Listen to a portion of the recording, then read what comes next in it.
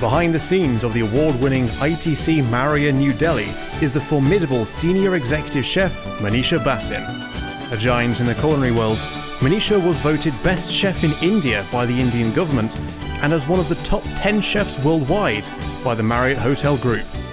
She was also integral to the Incredible India tourism campaign and has cooked for the likes of Bill Gates, Barack Obama, and Arnold Schwarzenegger. Manisha believes that one has to be passionate about cooking to be a successful chef.